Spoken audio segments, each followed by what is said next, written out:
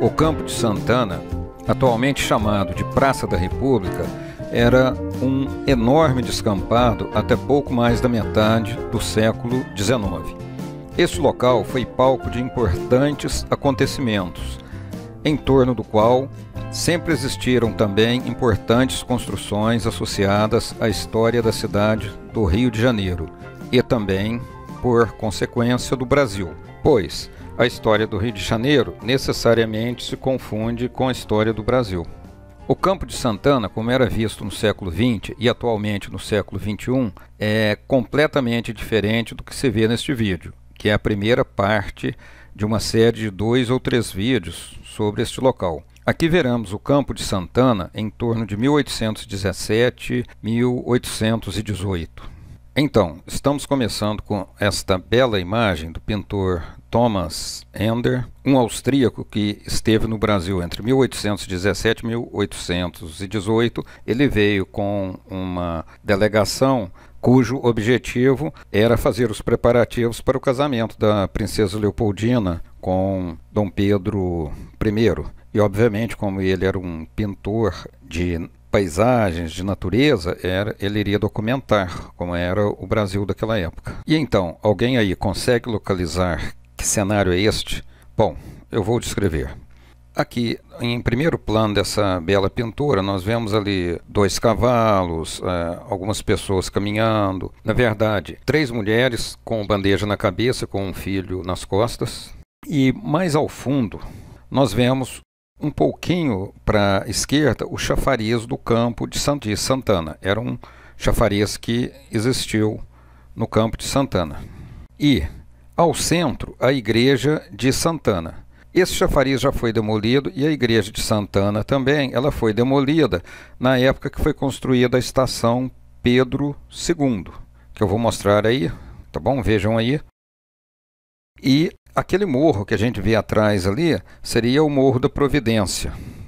Existe também neste canal um vídeo separado sobre o chafariz do campo de Santana e sobre a igreja de Santana com mais detalhes. Então, no local dessa igreja foi construída essa estação Pedro II. Essa estação Pedro II, que ficava no local desta igreja de Santana, foi por sua vez novamente demolida para dar lugar àquele edifício da, que é mais conhecido nos dias de hoje como Central do Brasil, que tem aquele relógio icônico aí que ficou famoso em fotos do Rio de Janeiro. E agora, Nesta outra imagem que nós vamos ver é de um outro artista austríaco, Franz Joseph Frobeck, uma pintura de 1800, uma aquarela de 1817, 1818. Ele chegou ao Brasil com 22 anos em 1817 como membro da comitiva austríaca que acompanhou a princesa Leopoldina na ocasião de seu casamento com Dom Pedro I permaneceu no Brasil até 1818, mas ele deixou é, muitos desenhos aquarelados. Não diria tantos quanto ao Thomas Ender, mas deixou alguns. Então, essa pintura é bastante interessante porque, além de ser uma perspectiva documental, ela é uma das duas imagens onde aparece o passeio do campo. Essa área ajardinada que a gente vê aí, em primeiro plano, ao longo da atual rua Frei Caneca, que eu estou apontando aí. Nós vemos também uma praça de touros erguida em madeira para as comemorações do casamento do Dom Pedro I com a princesa Leopoldina. Até esta época era comum no Brasil erguer praças de touro para celebrar datas comemorativas ligadas à coroa. E agora, vamos analisar esta imagem com mais detalhes.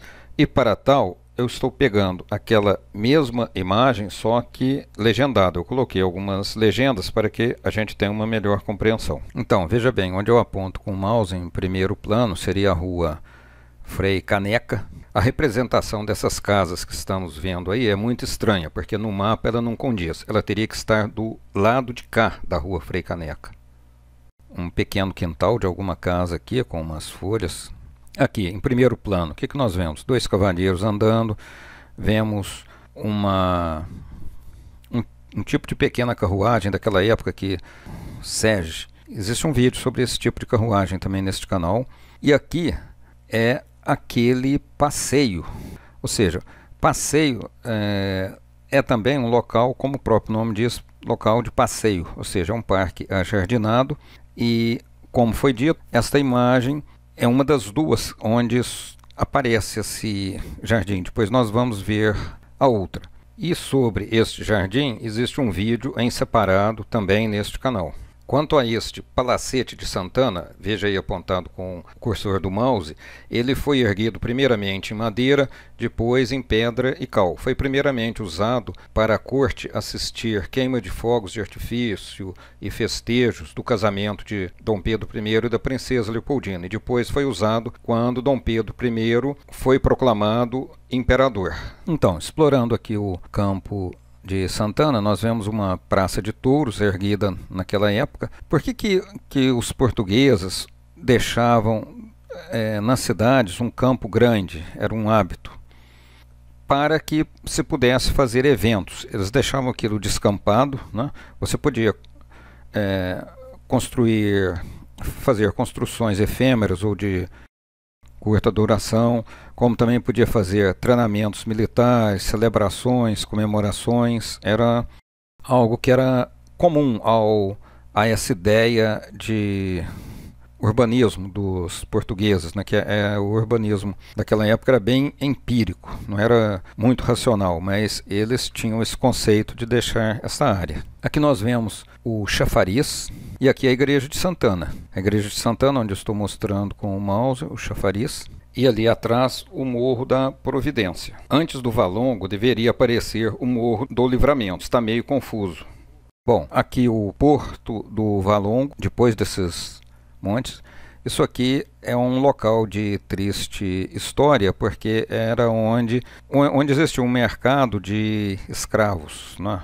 onde chegava navios negreiros, um passado meio sinistro, tenebroso. Aqui o Morro da Conceição, Morro da Conceição, a parte mais baixa, a parte mais alta. Aqui seria a Fortaleza da Conceição e o Palácio do Bispo, que atualmente é o o Museu do Exército, Museu, acho que cartográfico do Exército. Aqui, Igreja de São Joaquim, demolida na abertura da Presidente Vargas. Depois eu vou mostrar que a Presidente Vargas passou por aqui. Ó. Explorando essa imagem, Morro de São Bento, Três Moinhos do Arsenal Naval e aqui o Mosteiro e Igreja de São Bento.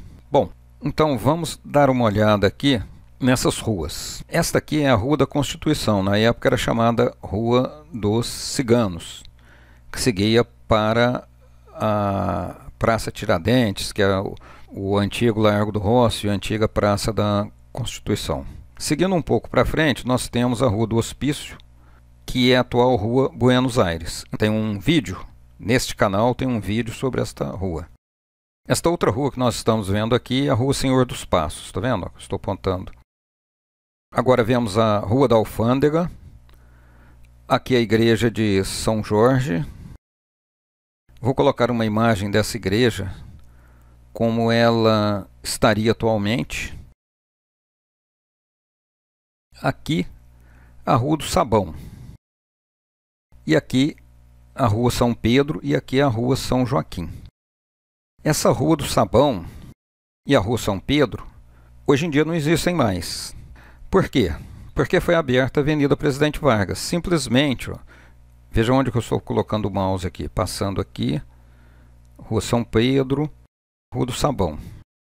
Então, essa faixa do Campo de Santana acabou. Foi ocupada pela Avenida Presidente Vargas e todos os quarteirões entre a Rua São Pedro e essa Rua do Sabão, até chegar na Candelária, foram derrubados para abrir. Esta aqui é a Rua São Joaquim. No local desta rua São Joaquim, hoje, é uma pequena praça que existe do outro lado ali da, da Avenida Presidente Vargas, onde tem depois o Palácio Duque de Caxias, tem uma estátua, tem um panteão, panteão do Duque de Caxias, e aqui a Central do Brasil, né? aquele prédio da Central do Brasil. Agora, reescalonando a imagem para comparar com um atual. Bom, então vamos olhar aqui Campo de Santana como está hoje. e comparar com a imagem antiga. Aqui, onde eu passo o mouse, o campo de Santana hoje. Aqui, onde eu estou passando o cursor do mouse, era, era Rua do Sabão ou Rua General Câmara, posteriormente. E aqui, também, onde eu estou passando o cursor, era a Rua São Pedro. E aqui, mais à frente, é a Rua São Joaquim. Então, o que, que aconteceu? Estes quarteirões entre a Rua São Pedro e a Rua do Sabão foram demolidos, aqui onde eu estou indicando, até chegar na Candelária e do lado de cá também. Então, isso aqui se tornou a Avenida Presidente Vargas. Aqui, veja bem, onde estou também rodando o cursor do mouse, é a atual central do Brasil, aquele edifício, onde esteve a estação Pedro II e também a igreja de Santana. E aqui onde era o quartel do Exército, atualmente edifício do Ministério da Defesa. Por aqui tem o Panteão do Duque de Caxias. Então é como se encontra a área atualmente. Bom, agora vamos dar uma olhada neste mapa do, do Rio de Janeiro a data dele é de cerca de 1820. Então vamos dar uma olhada aqui. Aqui o que, que nós estamos vendo? O antigo Largo do Rócio, depois chamado Praça da Constituição ou Praça Tiradentes. E aqui, o que, que estamos vendo aqui? O Campo de Santana. Então aqui, esse traço que a gente está vendo aqui era aqueles jardins que a gente viu na perspectiva. E aqui é aquele tal palacete de Santana, onde eu estou mostrando, apontando com o mouse. Aqui o chafariz, aqui a igreja de Santana e aqui um quartel do exército. E aqui aqueles morros que a gente estava vendo ali atrás. Temos esses morros aqui e por aqui o Valongo, sobre o qual a gente já falou.